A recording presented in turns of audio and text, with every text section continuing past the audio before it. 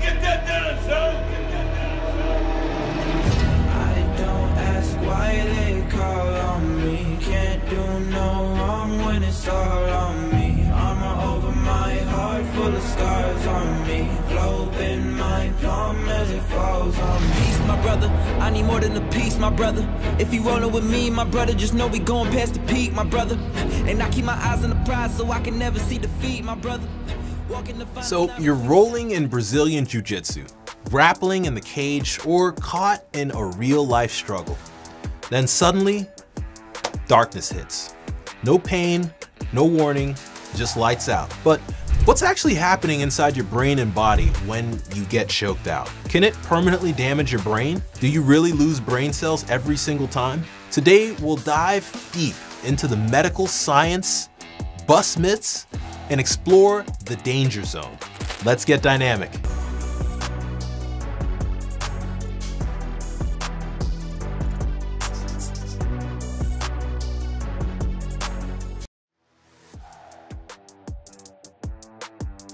Now first, there are two types of chokes, blood chokes and air chokes. They sound similar, but function totally differently. Blood chokes cut off oxygen-rich blood to the brain rapidly, causing unconsciousness in 6 to 10 seconds. These are commonly used in moves like the rear naked choke, the triangle choke, and the arm triangle. Your brain consumes around 20% of your body's total oxygen, even though it's only 2% of your body's weight. Cut off that blood flow and your brain quickly flips the off switch. Now, air chokes block the airway, causing suffocation. It takes longer, usually 30 to 60 seconds to go unconscious. These are more painful and can cause permanent tracheal damage. Crushing the trachea can even be fatal. Now, let's see exactly what happens in your brain when you're choked out. Your brain has about 6 seconds of oxygen reserves. When oxygen levels drop, your reticular activating system, the part that keeps you awake, immediately fails, leading to instant unconsciousness. No ATP means no neuron function, which causes your muscles to go limp. Now, the brain deliberately shuts down consciousness to conserve resources. This explains why passing out from a choke is not painful. It's instant. Your brain literally switches off to save itself.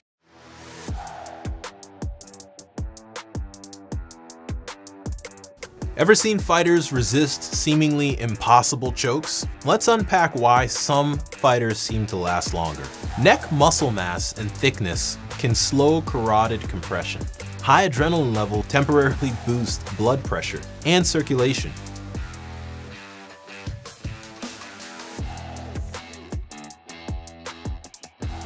Now it's a myth that you lose brain cells every time you're choked unconscious. The fact is that short duration, less than 30 seconds, blood chokes typically do not cause permanent brain damage. Another myth, holding a choke for minutes is safe. The fact is that permanent brain damage can begin after two to three minutes without oxygen. Now, quick chokeouts are generally safe, but prolonged chokes cross into very dangerous territory, causing seizures, permanent damage, or death.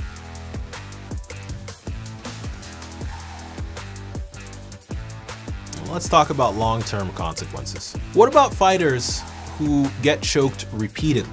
Is that harmful? Well, chronic chokes may lead to small vessel damage, memory impairment, and cognitive decline. Increased risk of strokes or other neurological events due to repeated vascular trauma also can occur. Now, persistent confusion or dizziness, seizures, chronic headaches, visual disturbances, difficulty speaking, or limb weakness are all red flags post-choke. If these symptoms appear after being choked, seek immediate medical care. It is your brain. Take care of it. So, now you know exactly what is happening when you get choked out. Whether you're training in martial arts or learning self-defense, understanding these effects could save your life or someone else's. Be sure to smash that like button, subscribe, and comment below if you've ever experienced a choke yourself. Until next time, stay dynamic and stay awake. Peace.